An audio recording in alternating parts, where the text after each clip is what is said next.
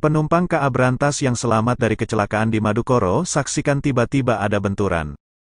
Kecelakaan kereta api, KA, Berantas menghantam truk tronton di palang pintu Madukoro Raya, Semarang Barat, Kota Semarang, Selasa, tanggal 18 Juli tahun 2023, terjadi sekira pukul 19.31.